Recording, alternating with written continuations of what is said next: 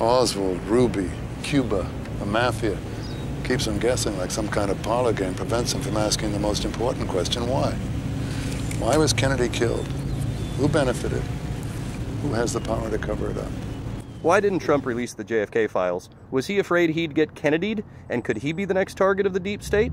The very word secrecy is repugnant in a free and open society. And we are, as a people, inherently and historically opposed to secret societies, to secret oaths, and to secret proceedings.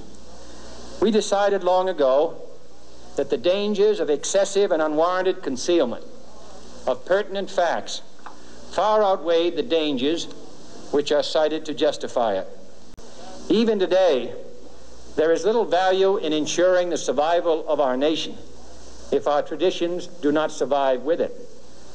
And there is very grave danger that an announced need for increased security will be seized upon by those anxious to expand its meaning to the very limits of official censorship and concealment.